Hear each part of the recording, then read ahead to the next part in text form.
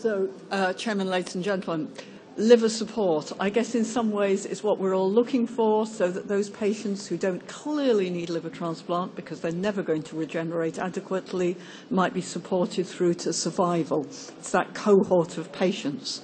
This is obviously the sort of patient we're talking about in that regard, someone with profound multiple organ failure, hemodynamic instability, cerebral failure, renal failure, as well as their liver failure.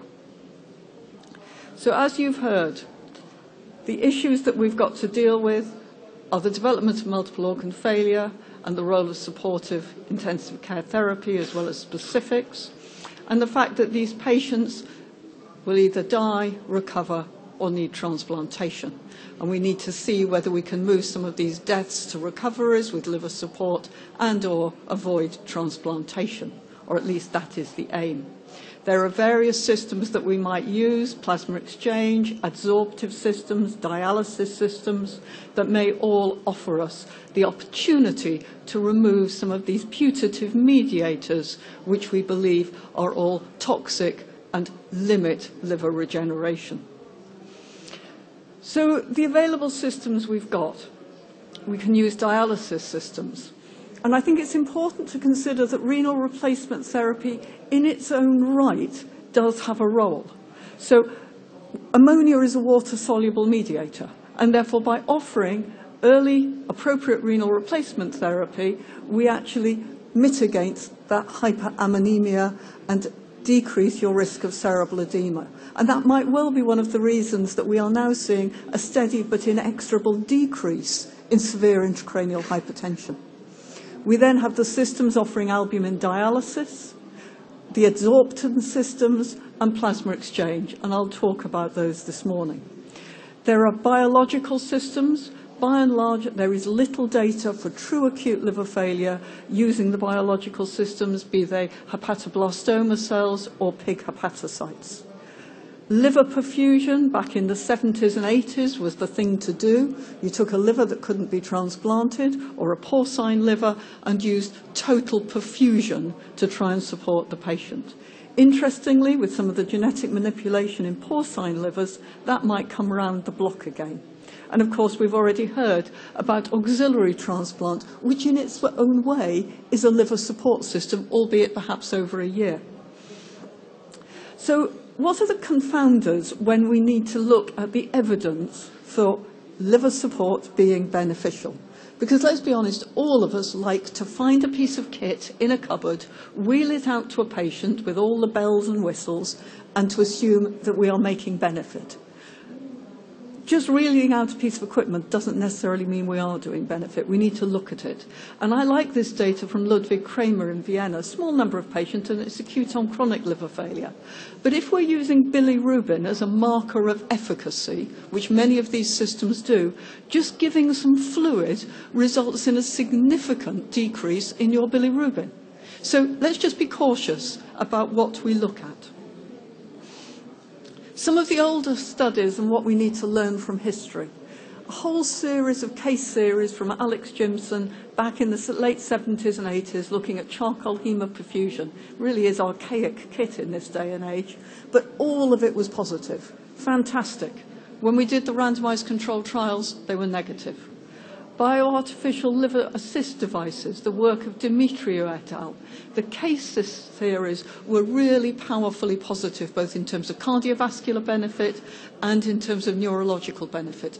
And that was really charcoal hemoperfusion and porcine hepatocytes. When it went out to a big multi-center study, that effect was lost.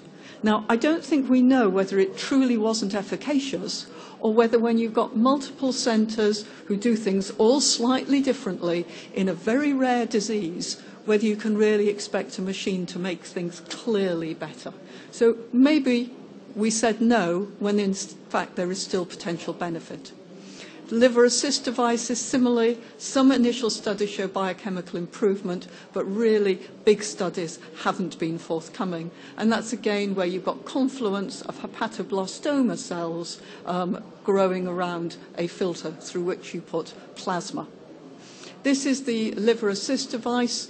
Um, it's a complex system. It's plasma separation, then running your plasma over your hepatocytes. Your hepatocytes are maintained with an oxygenator and a glucose system. It requires, a bit like ECMO, you need a nurse to run the ELAD system. You need a nurse to look after the patient. It's a complex system. And again, we don't yet have the big multi-center studies to suggest, or even the single-center studies to suggest efficacy, though there is an abstract for acute hepatitis B out of China showing transplant-free survival. So the FULMAR study looking at Mars and albumin dialysis. Excellent study, good number of patients, a mixture of etiologies, acute, hyperacute, significant amount of acetaminophen. Standard medical therapy versus standard medical therapy from, with Mars good number of patients transplanted, so a sick cohort of patients. We've got the right patients in this group. There is a suggestion, but it didn't hit significance, that the Mars might have been slightly better. But as you see here, the overall probability of survival did not hit significant benefit.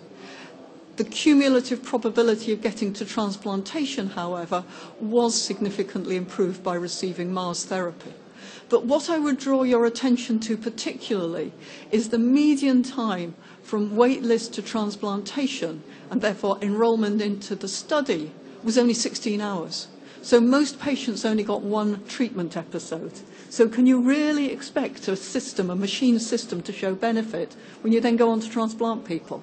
And again, so I don't think this should necessarily be viewed as a negative study, but the complexity of doing studies in acute liver failure in this context. On the multivariate analysis, the things that particularly came out as pertaining to six-month survival was etiology, acetaminophen. By and large, these patients don't need transplantation and get better, and lactate level. A suggestion here that coagulation was approaching significance, but not quite getting there. So I now want to move on to plasma exchange. The historical data back in the early 2000s, uh, a study uh, in children showing very clear improvement of coagulation parameters, both for your pro and your anticoagulant factors when you use plasma exchange. Now that actually might be pertinent because if you look at explanted livers, they are stuffed full of microthrombi. So actually by improving the procoagulant factors, the protein C, the protein S, the AT3, by using plasma exchange, you might actually mitigate liver damage. And that's something I think that we need to consider in the future. Again, another study showing benefit more recently in children. And then this study looking at pigs with acute liver failure, with all of the concerns about pigs to humans. This was from Rajiv Jalan's group, showing that there was a suggestion that plasma adsorption, low dose plasma exchange, and a plasma adsorbent uh, liver support system might show significant improvement versus controls. But as I say, pigs and can't be yet translated. So if you look at the evidence base, over 300 patients reported, this was back in 2010, randomized control trial zero, control trial zero, all case series and case reports, and all that we could come up with was grade two, weak or moderate quality of evidence. The plasma exchange story really comes out of Copenhagen in terms of the case series, an improvement in encephalopathy, an improvement in cerebral perfusion pressure and cerebral blood flow, an improvement in hemodynamic variables, and an improved removal of ammonia, perhaps suggesting an effect on hepatic function. And obviously, you have all of these uh, disadvantages that you're removing other water-soluble substances less effectively, and you've also got an unselective removal of things that might be beneficial. So it took us an awful long time It was Helsinki, Copenhagen, and King's undertook uh, a multi-centre study. It took us 12 years to enrol this number of patients, and therefore you could argue that treatment changed over time. We did actually look at that when we analysed the data. It was a very pragmatic study, one and a half litres of plasma exchanged.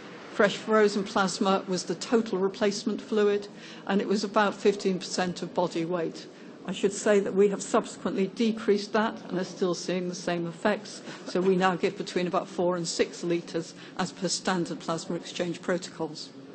It took us 11 years to do the study.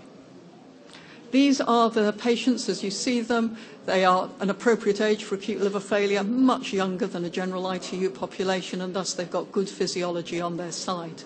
Hyperacute with a predominant group. The etiology uh, showed a significant amount of uh, acetaminophen. The majority of these patients were in grade 3, 4 encephalopathy, and hence 60% of them were ventilated. Uh, 70%, sorry, and 86% significant number on vasopressors, 60% and 51%. Oliguric, suspected infection, similarly matched across the two. Slightly higher fever in the uh, high volume group, but none of that statistically significantly different. I just draw your attention to ICP in those that had it measured, 14% in both groups, so again, no difference. And as I alluded to, high instance of vasopressors, uh, mechanically ventilated, and renal replacement therapy. So what did the data show? Well, overall, liver transplant centre censored survival, you see a benefit for those patients who received high volume plasma exchange. If you then go on and look at it in more detail, for those patients that went on to transplantation, there was no significant benefit of plasma exchange. So if you're going to, a bit like the Mars study, if you're going to get transplanted quickly, you don't show a benefit of a supportive technique. If, however, you weren't going on to get transplanted, there was a clear benefit for plasma exchange, which was highly statistically significant. So then moving on into subgroup analysis. This was a group of patients who fulfilled transplant criteria, but for various reasons we did not list as the three centres. So they were either too unwell physiologically, they had too much comorbidity, or psychiatric co- com- uh, contraindications to transplantation. And for this group, I think importantly also, there was a significant benefit for plasma exchange. If you were listed but not transplanted, there was a trend, but it did not hit significance for plasma exchange. Some of the reasons for not being transplanted were the team thought you were getting better anyway. In terms of serious adverse events, sorry, that's gone wrong, standard medical therapy and high volume plasma exchange, there was no difference between the two. We had been worried about sepsis, we'd been worried about pancreatitis. None of these hit significance. You see those there. What was also interesting was the immunological effects, and I don't expect people to really look at or read this slide, but what was clear was that plasma exchange removed DAMPs, and that was significant. And what we also saw was an improvement in monocyte function.